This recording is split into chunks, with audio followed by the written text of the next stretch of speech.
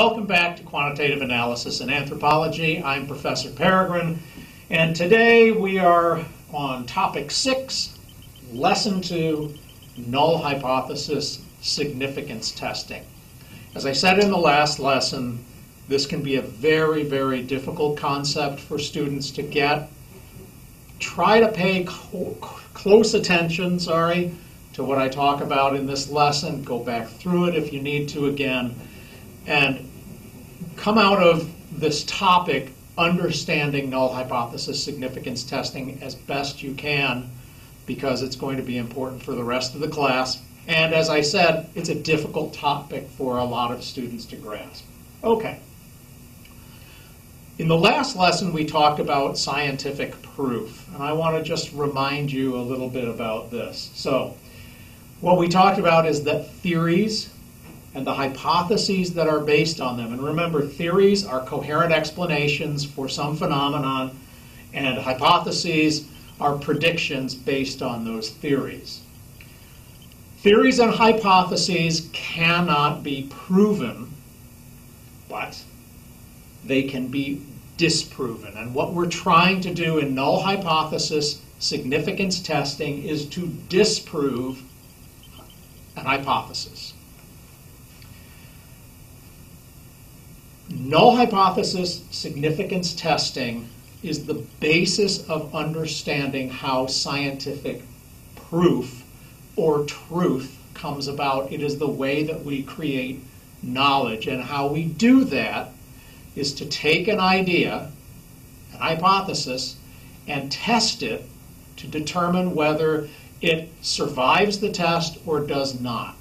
What we seek to do in null hypothesis significance testing is to disprove an hypothesis. And this is, I think, where null hypothesis significance testing becomes confusing because we tend to think about we want to support or prove or demonstrate. We do papers uh, in which we try to make a point and prove something or demonstrate something because we can't prove anything, remember? Um, we're asked to uh, read articles where the person is making an argument and trying to demonstrate something. In null hypothesis significance testing, we take the opposite approach. We're trying to disprove an idea. And we're not, from doing that, trying to give support to an alternate idea, although the process of disproving an idea eliminates a poor idea, an unwarranted idea, and supporting a, a, hypothesis or not disproving the hypothesis, you can sort of think that that does give support to the hypothesis. What we really have to think is that it doesn't disprove it. And that's a strange way of thinking, given that most everything else we do in terms of argument is that we're trying to support an argument rather than disprove one. All right, what is a null hypothesis? So here we go. Remember this, we had it in the last lesson, the theory that language shapes perception. This is the Sapir-Whorf hypothesis. Uh, but this is, we're calling it a theory. The hypothesis that we worked with is individuals are better able to distinguish between colors if the language has more color terms. That hypothesis should support this theory that language shapes perception. We have this as H sub 1 as the working or research hypothesis. We sometimes might have that as H sub R. The null hypothesis would be here H naught there is no difference in the ability to perceive colors based on the number of color terms in the language. It's basically null. Nothing. Nothing's going on, no difference, no pattern, no nothing. And that's basically always what a null hypothesis is. No nothing. It's that that we want to disprove. We don't want to show that the research hypothesis is true or is supported we want to show that the null hypothesis is not correct. And by doing that, we support the research hypothesis. Again, this I think is difficult to get into our brains because we're so often trying to show that our research idea we can demonstrate that it is supported or true. We're doing the opposite here. We're taking the opposite, essentially, of the research hypothesis and trying to disprove that. And by disproving that, we give support for our research hypothesis. Rewind this, play it again, think about it. That's null hypothesis significance testing. So, the null hypothesis is typically the opposite of the test or research hypothesis. Null hypothesis is usually the opposite. Um, the null hypothesis usually is related in some way to a random pattern. And that's where we get into probability. The null hypothesis is usually that there's no relationship, no difference, no pattern here. The research hypothesis is predicting a pattern, predicting a relationship. Language, uh, the ability to distinguish um, colors by the number of terms in the language. That's predicting essentially a correlation, right? That there will be a correlation between the number of, of color terms in a language and the ability of individuals speaking that language to distinguish colors. That's predicting a pattern, an association. The null hypothesis is that there's no pattern, there's no association.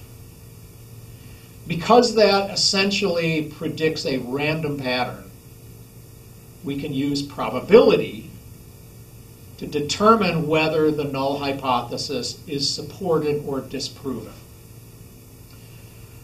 So let's talk a little bit about random patterns. A random pattern is what's expected by probability.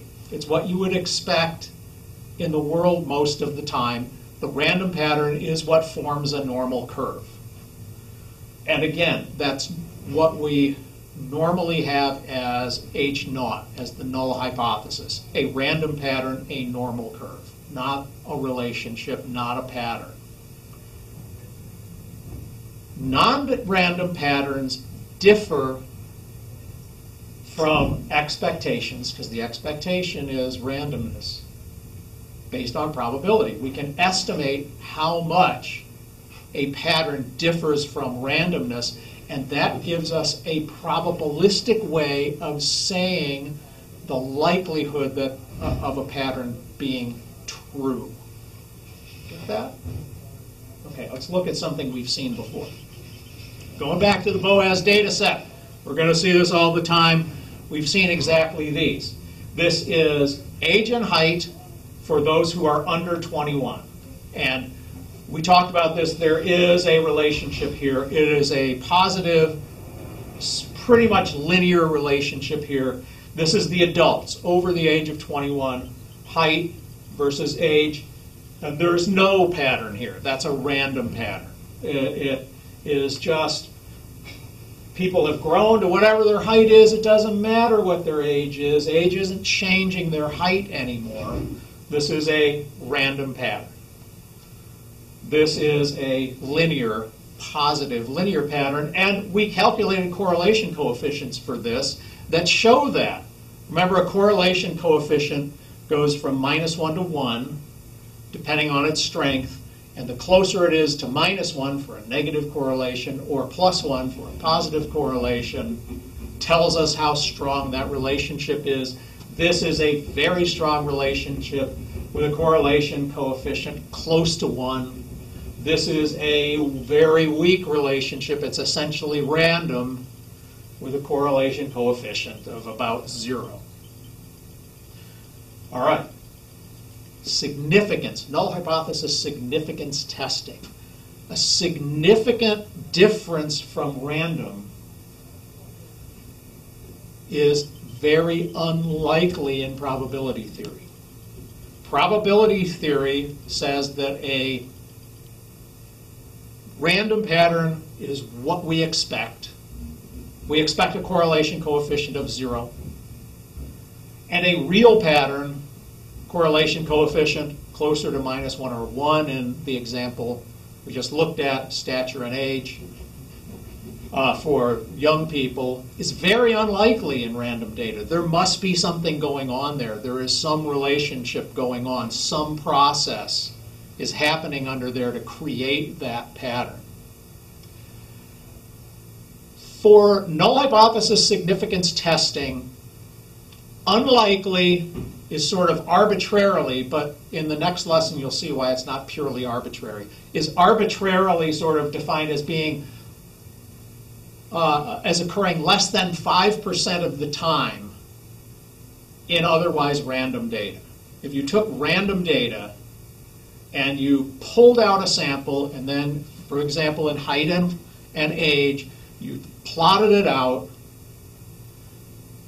if you got a pattern that would occur less than 5% of the time in that if the data were truly random, that's considered significant. And if you get a significant result, you reject the null hypothesis. Say that again. A significant result will occur less than 5% of the time if the data you're looking at are truly random. We expect randomness. The null hypothesis is basically that there's a random pattern, regardless of what the specific null hypothesis is. It basically is that it assumes a random pattern. So, if we find a pattern that is less likely than 5% chance that it will occur looking at what otherwise are random data, we say that's significant. And if it's significant, we reject the null hypothesis. This can be confusing again for students because we're looking at low probability as being what we sort of want to find in order to reject the null hypothesis. It again seems almost backwards. We want to argue a point. Our, our research hypothesis is what we sort of want to argue. That's how we write papers and we make arguments. We typically think about a good argument, the result that we want to support an argument is the one that has the most support, is the most likely. Null hypothesis significance testing is essentially the opposite, where we make the argument that nothing is going on, and what ends up actually supporting our ideas is if we show that that's wrong, that it's wrong that nothing is going on, something is going on. All right. Again, rewind this, think of that again, if you want to. So what we show that as P, probability, is less than 0.05 or 5%. It'll occur less than five times in 100 in random data. So let's look at the two plots we just saw. Here we have the random data. Okay? In this random data, the probability of getting this in random data is one time out of 10, 0.11. Actually, that's pretty low probability. And the reason for that is that the sample size is so big. And we'll talk about that in the next lesson. But this is greater than 0.05, and therefore this was a pattern we got in some kind of data, we would accept the null hypothesis and say that the research hypothesis must be wrong. The probability of finding this in random height and age data is teeny. It's actually 2 to the minus 16th. So it is 0.16 zeros 2. It's very, very unlikely to find this in random data. If our hypothesis was that we would find this, that's our null hypothesis, and we find this, we would reject that null hypothesis and give support, say that this supports the research hypothesis. It does not prove the research hypothesis. It gives it support, and we can go in and keep testing that research hypothesis. Okay, so got that? If we hypothesize that there is a relationship between age and height, and we get this that's essentially a random pattern, this that probability theory based on a correlation would say happen would happen 10 times in 100 if we just selected all of these people out of random data then we say it's random. That's random. We accept the null hypothesis and we say that the research hypothesis is not supported. If we found this by choosing a bunch of people out of random data, we found this relationship with a probability of occurring in random data less than 0.0000002, is what this actually is, but less than ever. We would say, well, the null hypothesis that there's no relationship is wrong. We reject it. And we say, well, our research hypothesis has some support. See how this is kind of a backward way of thinking, and that's why it's so confusing. But that's null hypothesis significance testing. Null hypothesis significance testing. H naught is what's expected. We expect it to have probability greater than or within the realm of 0.95. H1 is unexpected. We expect that to happen less than 0.05% of the time. And really, this, this should be 0.05. I have it as 95. It's within that 95% range. That's unexpected, H1. And so if H naught is true, in other words, it happens 95% of the time or more, then H1 is rejected. The research hypothesis is rejected, and the hypothesis is considered to be unsupported. But if H1 is true, then H0 is rejected, and the hypothesis supported. That would be if we have an occurrence that by probability would say it would occur less than five times in 100 in random data. Okay. Null hypothesis significance testing go back, watch this video again, try and be sure that you understand this. It is very strange logic. And that what we are doing is testing the opposite of what our research hypothesis is in the hope of rejecting that opposite. And that says we have support for our research hypothesis. And that's done by finding a very low probability relationship or pattern or uh, whatever we, we are looking for rather than what we would expect under random data. Got that? It is a difficult set of concepts. Think about it, read about it, watch the videos we're going to come back and talk about one more aspect of null hypothesis significance testing in the next lesson, which is about errors. I'll see you then.